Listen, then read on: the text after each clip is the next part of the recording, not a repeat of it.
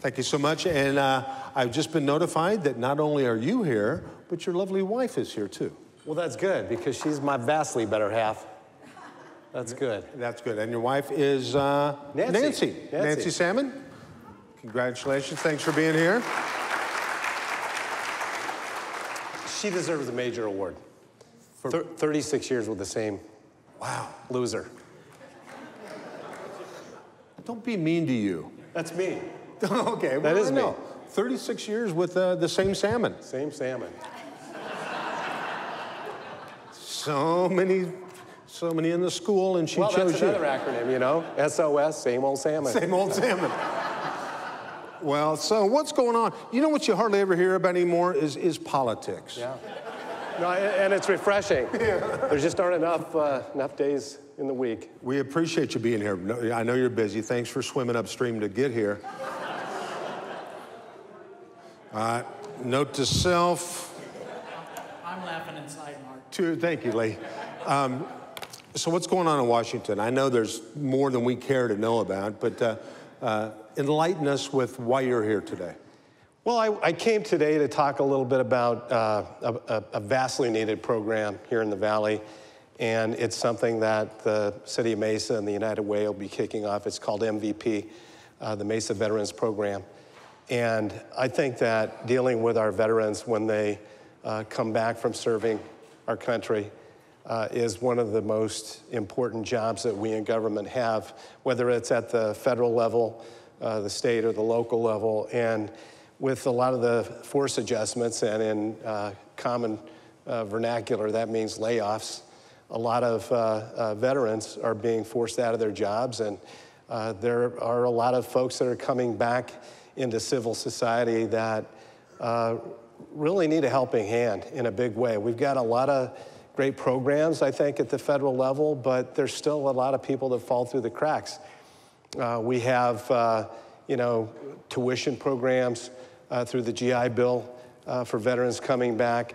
And I do believe, I, you know, I've met with uh, the folks at the Chandler Gilbert, uh, Dr. Lujan, who I think is really recognizes that this is one of the most important functions that she has, and that is to make sure that veterans that are coming back and wanting to get uh, an education are a top priority, and that the kind of cookie cutter way that we treat students doesn't necessarily work for a lot of veterans that are coming back, and some of them kind of lost.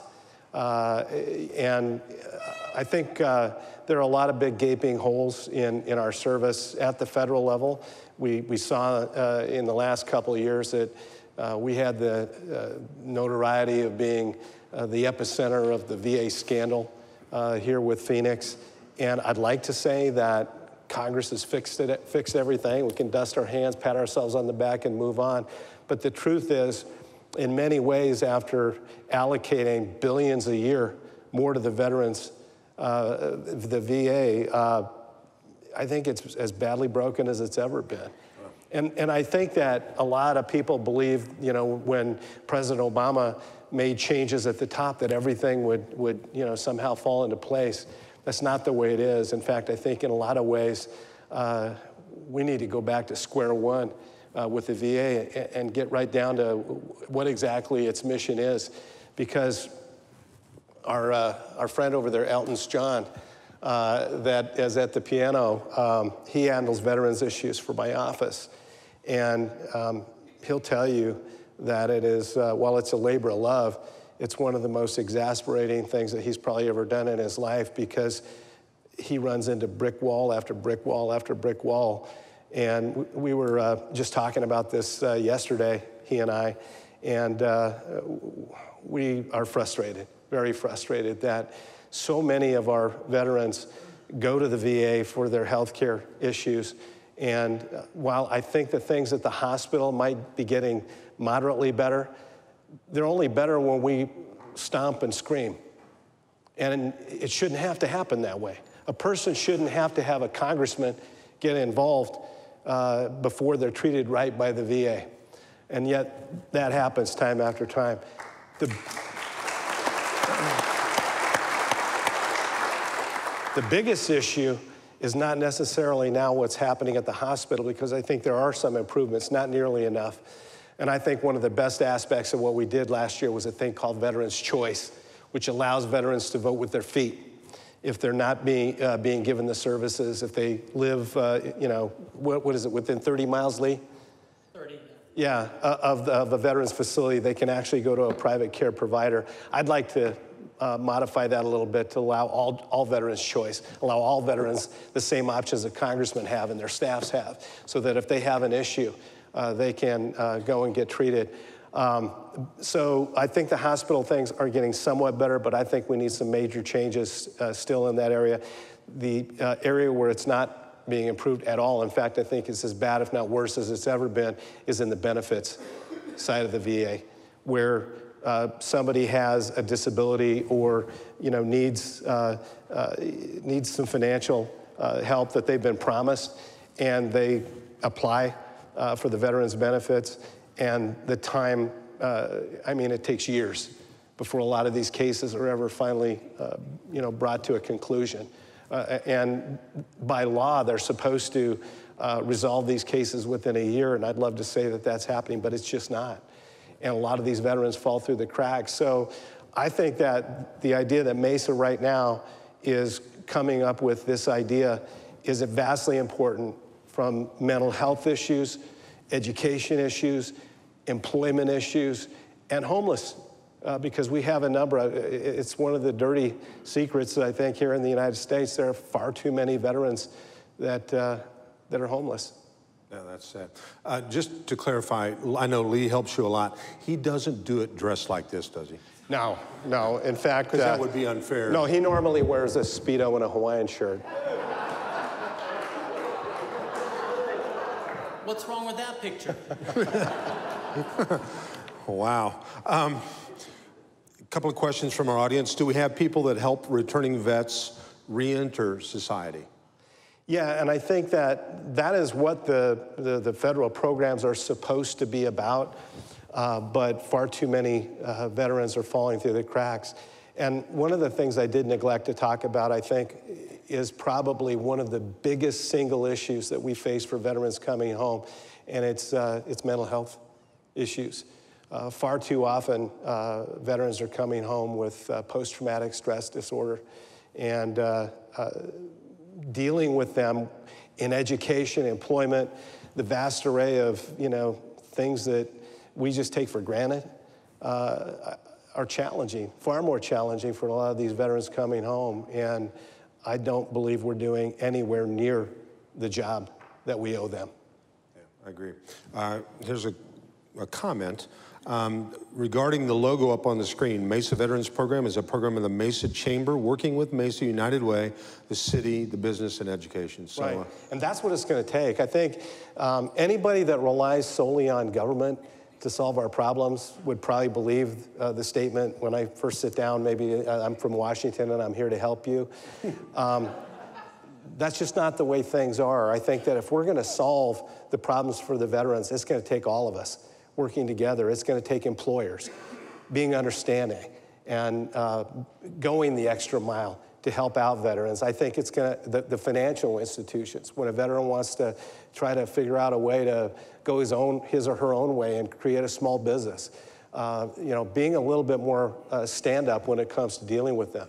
Healthcare, uh, uh you know, all, all of education, uh, all of the things that we've talked about.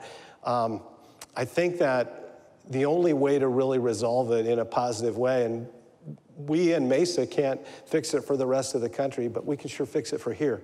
And I think that's what we have to focus on is that we're all going to work in tandem. We are our brother and our sister's keeper.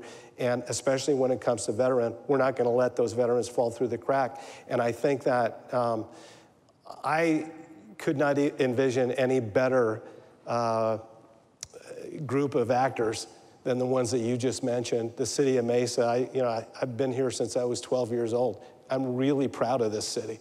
It, it, I think that Mesa has led the way in a lot of wonderful things. Sally's doing great things with the chamber, and we've got the Mesa United Way that um, I, I sat on their board for years and years and years, and you know they really do stand in the gap in people's lives. And unlike a lot of the groups out there that are more about their own uh, aggrandizement than they are solving problems, the Mesa United Way is really a, where the rubber meets the road kind of an organization that, that really cares about people. And so I think if we can't do it together, it can't be done. But I don't believe that that is the case. I think we can do it. And I think that we've got the right people put together. And I'm proud that our business leaders and our mayor and, and uh, uh, all the folks uh, you know, that have been mentioned have designated this as a top priority because it really is. And if we can't stand for taking care of those who risk their lives for our freedom, if we can't stand for that, then what are we even doing here? Exactly. Exactly.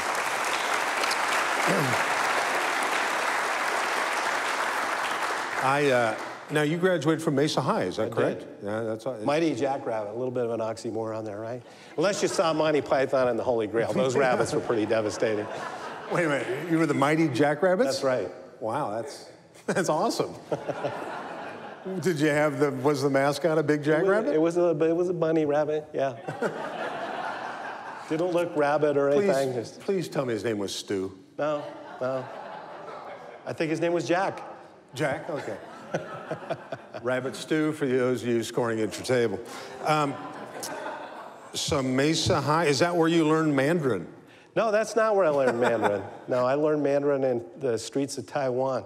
Actually, with the guy at the piano there. Really? Yeah, we were missionary buddies over in Taiwan, and uh, it was back in the 70s before uh, uh, Taiwan actually became a, a free uh, dem- democracy. When we lived there, it was a totalitarian government.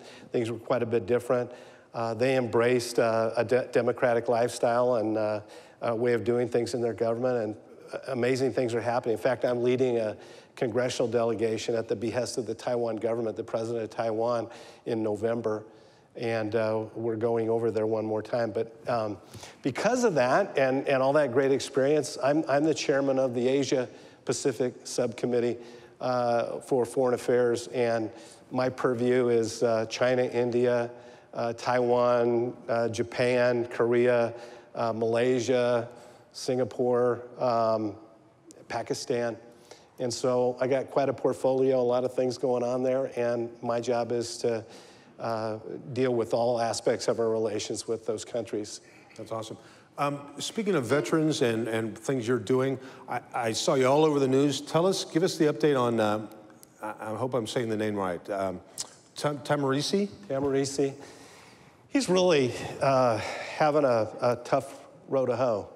Um, Fill him in on. Uh, Well, uh, you, you might remember Sergeant Tahmooressi was in a Mexican prison uh, for about seven months, and I got quite involved. Uh, went and visited him in the prison on two occasions. Uh, went and met personally with the Attorney General uh, of Mexico, and after seven long months, we were finally able to get him out. But um, before Andrew went in, and that's his first name, uh, before Andrew went into the prison, he was suffering already from pretty severely from uh, PTSD. And after uh, the treatment he received in the Mexican prison, uh, it's been exacerbated greatly. And he's going to have a tough, tough row to hoe. And uh, I, I, really worry about him. I worry about him every day, but I worry about um, all of the folks that are coming back uh, from serving over there, um, especially those that have, uh, you know, dealt with head trauma. I mean, it, it, it's it's, uh, it's very serious. It's a lot more serious than most of us understand. There are a lot of people out there that, you know, you, you got to look beyond the smile uh, because there's a lot of pain in a lot of the folks that are coming back from uh, fighting overseas. Uh, and and uh, I think anytime we see those folks, uh, you know, whether it's in the airport or on the street, I just would hope that you give them a big hug or a handshake or something and tell them how much you appreciate everything they've done. That's awesome. Um, one more question, and I know you could probably talk about this for a long time, so simple yes or no. Would it be smarter and more effective for one six year term for president? Caught you off guard with that one. That's a pretty good question. Um, I mean, I, I, I, don't know. I mean, I think that. Um, I think that there's something to the idea that you know you're not going to be there uh, for a protracted period of time, and if you serve one six-year term, it's very intriguing. I've never really even thought about it. Well, that's but, why- But, but if somebody, uh, you know, served six years and didn't worry about standing for the next election, maybe they could really get down to business and do what they actually believe instead of, you know, pandering. Uh, it, it, it, that's all that happens these days. I, I mean, I run every every two years, and I get really, really frustrated with, you know, all of the uh, telling people everything that they want to hear. Uh, the truth is, our nation is in serious financial trouble. It is, and um, people come to me all the time and. And, and you know from one group or another and say we need you to do everything you can to get rid of sequestration and my answer to them is you know, if we don't get control of the beast, you're going to look back at the good old days of sequestration because it's going to be so much more cataclysmic in that eight to 10 years from now if we stay on the same trajectory we're on. And the big 800 pound gorilla in the room that nobody ever wants to talk about because it's the third rail of American politics is mandatory spending. And it's the Social Security, Medicare, Medicaid that are consuming 70% of the federal budget. That means right now, folks, if we got rid of all military spending, all national parks, all transportation spending, all those things, we got rid of all of it tomorrow, we would still have close to a half a trillion dollar deficit a year.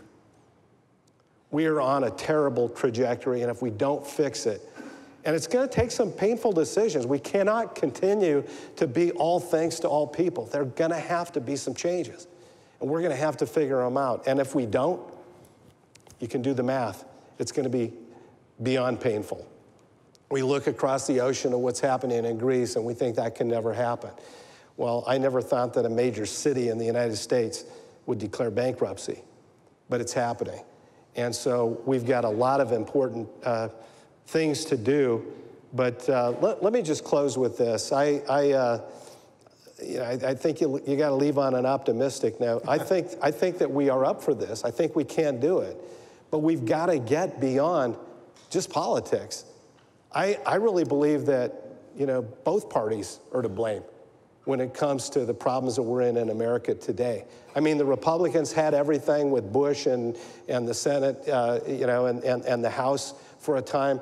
The Democrats had, had everything for a time. And all they've done is kick the can down the road. I'm not, I'm not, you know, trying to say get rid of the parties, but I believe there needs to be a time when we step forward and we say, I'm an American. I'm not a Republican. I'm not a Democrat. I'm an American. And we better fix this because it's for everybody Republican, Democrat, everybody.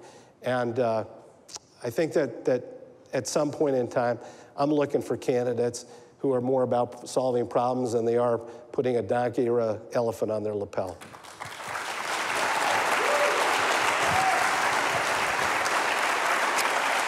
One, uh,